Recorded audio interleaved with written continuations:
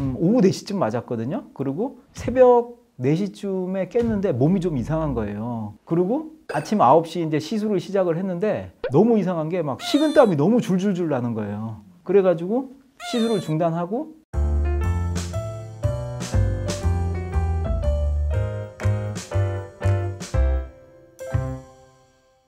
보통 아스트라제네카 백신은 1차가 아프고 화이자 모더나는 2차가 아프다고 하는데 이상 반응도 그렇게 나타나나요? 아 그게 정말 뭔가 좀 관계가 있는 것 같다는 생각이 저희도 많이 들어요. 우리가 농담으로 그런 얘기 했잖아요. 백신 맞고 나서 멀쩡한 사람들은 아재 뭐 이런 얘기 했잖아요. 근데 정말 맞아보면 전신 증상이 심한 분들은 20대 여자분들이세요. 충북대병원은 권역 거점 병원이기 때문에 파이자 백신을 다 맞았어요. 그런데 제일 힘들어했던 거는 우리 20대 젊은 간호사들이었어요. 맞고 나면 막 그 다음날 거의 쓰러질 것 같이 힘들어하고. 근데 이제 저같이 아재들은 색색하게 돌아다니면서 팔만 좀 아파 뭐 이러고 다녔죠. 근데 저도 2차 때는 굉장히 힘들었어요. 보통 이제 백신의 반응이 12시간부터 48시간 내에 많이 전신 증상이 생기는데 음, 오후 4시쯤 맞았거든요. 그리고 새벽 4시쯤에 깼는데 몸이 좀 이상한 거예요. 그런데 제가 말씀드렸잖아요. 그 달리기 하고 있다고?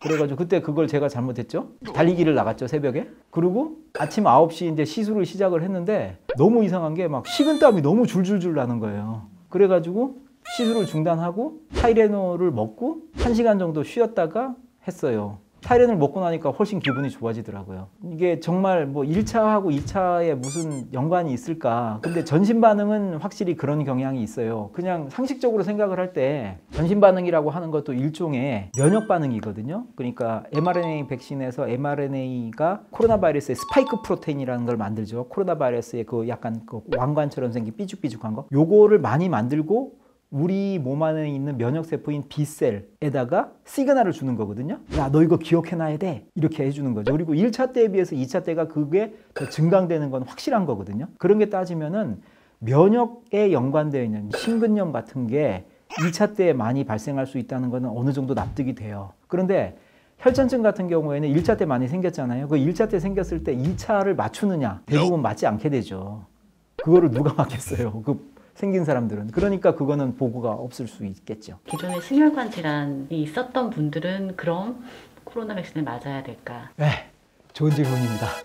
시골에 있는 시골 심장 의사가 서울까지 와가지고 말씀드리는 게 이건데요. 첫 번째가 이런 거예요. 심혈관계 질환 그러면 대표적인 게 심근경색증 그리고 심부전 이런 거고요. 그리고 심혈관계 질환을 만드는 바탕 질환에는 당뇨병, 고혈압, 고지혈증 이런 게 있으시잖아요. 그리고 그분들이 연세가 많으세요. 이렇게 따지면은 다들 무서워하세요. 기저질환이 있는데 주사를 맞으면 안 되는 거 아니에요? 저희 외래 50명 중에 40명이 물어보세요. 저는 그래갖고 이제는 기저질환에만 들어도 화들짝 기저질환이 있으니까 주사를 맞으셔야 돼요. 그러면 대부분 눈이 동그래지셔서 교수님 그게 무슨 말씀이세요? 기저질환이 있으면 위험하다니까요. 그러니까 아 그게 아니고 기저질환이 있으신 분들 연세가 많고 당뇨병이 있고 고혈압, 고지혈증이 있고 심근경색증이 있었고 심부전이 있었던 분들이 코로나에 더 잘 걸리고요. 코로나에 더잘 걸리실 뿐만 아니라 중환자실로 가게 되는 위중증화 가능성이 훨씬 높아요. 돌아가신 분들이 전부 다 75세 이상이세요.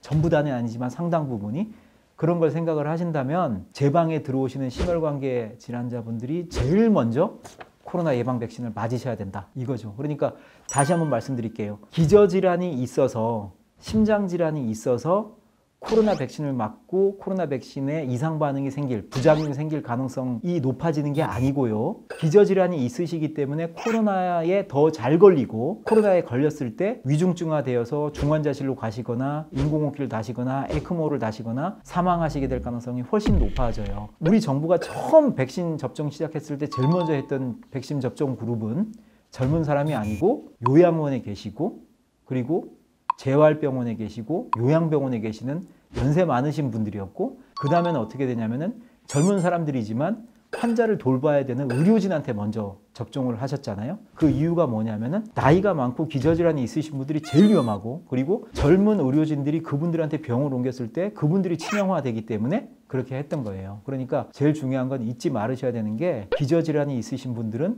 코로나 백신에 의한 이상 반응이 늘어나는 게 아니고 코로나에 걸릴 가능성하고 코로나에 걸렸을 때 위중증화 될 가능성이 높습니다. 백신 꼭 맞으십시오.